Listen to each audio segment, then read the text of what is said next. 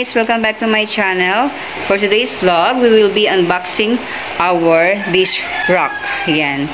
Binili ko siya sa Shopee ng 2,200 something. So, parang umabot siya ng 2,500 pati yung kayang shipping fee. Sobrang laki ng kanyang box. Ayan. Actually, binili ko yung pinakamalaki. Anong size ba nito? Wait lang ha. Ayaw po kasi magpa-video ng aking eldest. Kaya, umalis muna siya. So, yan. So, mamaya, ay, lumipad. I-assemble niya. Sana mabuo ng ganyan. Wait, baligtad. Sana mabuo niya ng ganyan. Yung size ba nito? Okay. Let's see the box. Ilalagay ko na lang po sa description kung ano yung kanyang Shopee page or Shopee ng aking seller. Asya, no? 2,528 po.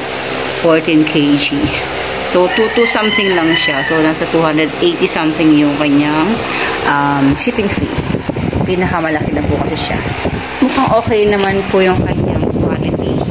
Parang yung mga usual dish rack sa SM na nabibili natin. Okay, so later po, papakita natin yung finished product. Just update you later. Thank you. So, ayan guys, nabuo na po siya ng aking eldest. Ayan, ang size po ng ating dish rack. Sobrang haba pala niya. Kakasya kaya to sa aming ano, lababo. Nako. Um, 120 centimeters ba yan? Okay, so sobrang haba niya. Uh, pakilagay nga doon, Sed, para makita natin. Doon sa ano, o kaya ilagay mo na siya doon sa ano, doon sa mismong lababo para ma-figure out ng ating mga audience. Sobrang laki pala niya. Nakakatuwa naman na nakakatakot. Nakasya kaya to. Okay, let's see.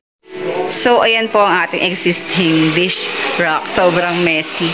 Ayan, maliit lang po kasi siya.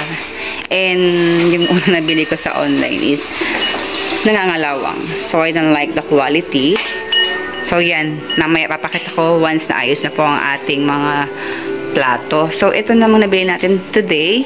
Okay, sobrang ganda ng quality. Ayan, makapal po yung kanyang pagkabakal. Though hindi siya stainless-like, kasi naka parang matte finish yung kanyang pagka-paint. So, dito lalagay yung mga, yung chopping board. So, dito naman po yung um, sponge, sabon, etc. So, dito, mga kutsara, dito yung mga kutsilyo, sobrang daming mailagay.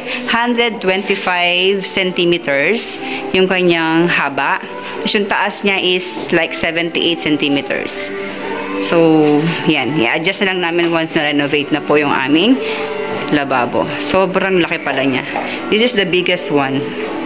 So, konti na lang kasi dadagdag mo. Kaya, pinili na yung malaki. Para mas marami kaming mailagay.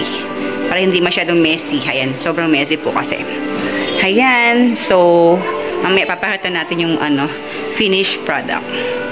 So, ayan guys. After po nating maayos ang wow! ating mga dishes, ayan. Medyo organized na po siya kumpara kanina. Tingnan yung gilid. Ayan. Pwede na ako maglagay dyan ng iba pang ano, um, appliances. Like yung mga rice cooker. Tapos dito yung uh, microwave.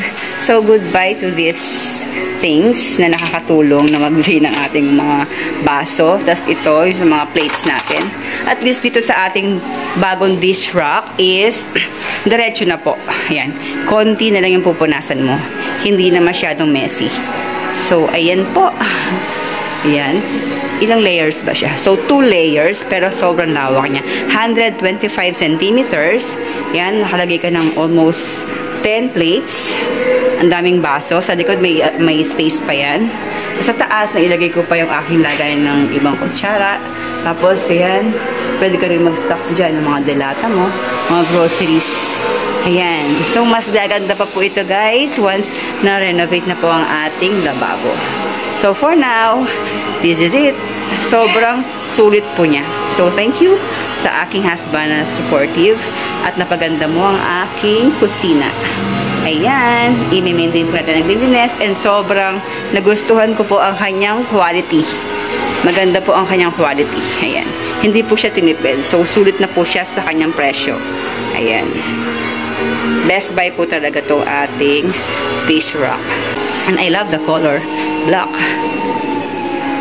So, thank you for watching. Hope makabili kayo. I will just put the link kung saan po siya binili sa Shopee. And if you're new to my channel, please don't forget to subscribe, like, share, and comment. Thank you and God bless you all.